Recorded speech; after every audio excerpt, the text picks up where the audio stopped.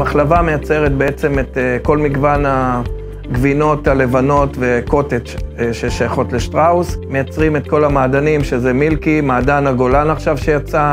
אגף תעשייה בעצם זה אגף שבעצם אה, עושה את התכנון ייצור, עושים התייעלויות בייצור, אופטימיזציות לתכנון, הנדסת ייצור, שיפור שיטות. האתגרים בעיקר זה לספק את השוק, שלא יהיה חוסרים לצרכן, לטפל בכל המורכבויות שבמפעל יש. אה, צווארי בקבוק יכולים להביא אותנו למצב שיהיה חוסרים בשוק. הצווארי בקבוק יכולים להביא אותנו שנהיה לא יעילים, שיהיה לנו נפל גבוה. יש המתנות לחומר, שאין לנו חומר ויש צוות אריזה. במהלך השבוע יש חוסרים, זה יכול להגיע למאות אלפים בחודש, ולכן אנחנו כל הזמן מתעסקים בזה.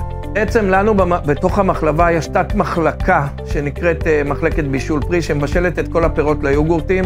אנחנו בנויים שם על כמה סירי בישול, ובעצם המורכבות ש, שיש לנו במחלקה הזאת, זה שיש לנו uh, הרבה הרבה בישולי פרי שהזמני בישול שלהם שונים. יש הרבה מעברים שם per סיר, אם זה ניקיון, אם זה שטיפה, הרבה כללי איכות שם על כל בישול, הרבה אילוצים. כל כזה בישול הוא בעצם אה, זמן אחר, יש לו setup אחר, שטיפה. בעיקרון, במחלקת בישול פרי, התכנון, הייצור המפורט הוא, הוא ידני. על ידי המנהל משמרת, וקשה מאוד לתכנן ידנית את המחלקה הזאת. ולכן אנחנו היינו צריכים פה בעצם בפרויקט הזה להביא את כל האילוצים שלנו, להכניס את זה לתוך המטלב ולהביא תוכנית שהיא אה, ישימה, וגם אם היא לא ישימה, שיתריע לנו שבעצם אנחנו לא מסוגלים לבשל את כל הכמות שאנחנו רוצים, אה, וצריך לחשוב מה עושים. ולכן התוכנה הזאת בעצם אה, תביא אותנו לעלות מדרגה, שהתכנון יהיה מדויק, שנדע שאנחנו עומדים בתוכנית ייצור, שלא יהיה המתנות לבישול במכונות האריזה.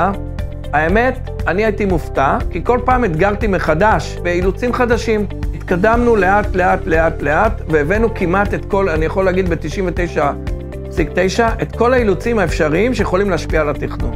כי ככל שהם פחות ייגעו בתוצאה, זה אומר שעשינו עבודה טובה. שזה המטרה שלנו, וזו המטרה של הפרויקט. שאנחנו מביאים במכה אחת תוכנית שאף אחד לא נוגע בה.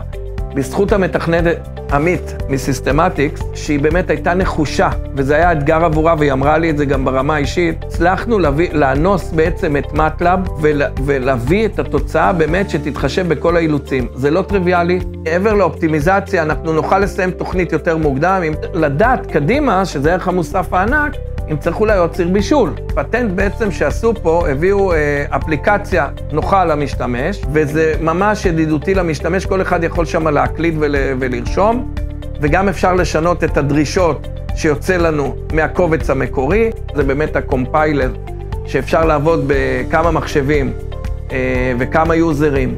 על התוכנית, זה אומר גם המנהל משמרת של הבישול פרי, גם התכנון טאפי וגם אני יכולים לעשות את השינויים ולהריץ את התוכנית מחדש בכל נקודת זמן. זה קודם כל ברמה האישית אה, לעבוד עם סיסטמטיקס, אה, אני חושב שזה מאוד מאוד, אה, אני מאוד נהניתי ברמה האישית. אנשים מאוד מחויבים, אנשים מאוד רוצים שזה יצליח, אז באמת אני חייב לציין שזה המפתח גם להצלחה, לא להתייאש. אנחנו נוכל, יש לנו תוכניות ארוכי טווח של השיווק, אנחנו נוכל לכמת את התוכניות האלה לרמה שהאם צריך להשקיע בהרחבה של בישול פרי, ואני חושב שזה פריצת דרך, אה, פתחנו עוד נישה במטלב למקומות אחרים גם.